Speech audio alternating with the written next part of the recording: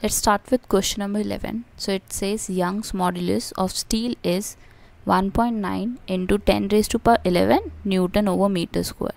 So this is Y here which is 1.9 into 10 raised to power 11 Newton over meter square.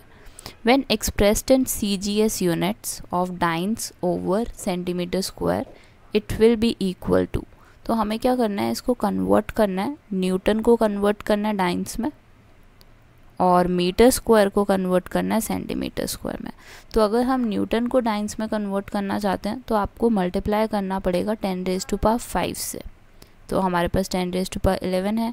Ten raise to power five से आप multiply करोगे numerator में और आपको metre square को centimetre square में convert करना है। तो you have to multiply one with ten raise to power four so it will be now in centimeter square and this is in dynes so now you have to reduce the values so आप यहाँ पे देख सकते हो four है और यहाँ पे फाइव है तो यहाँ पे वन बच जाएगा और आपके पास आ जाएगा one point nine into ten raise to power twelve क्योंकि बेस आप देख सकते हो इन दोनों के सेम है।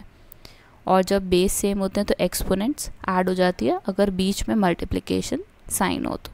So this is one point nine into ten raise to power twelve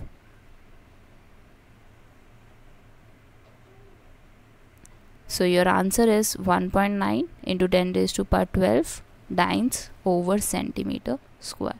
So right option out of these three is third one. Let's do 12th question now.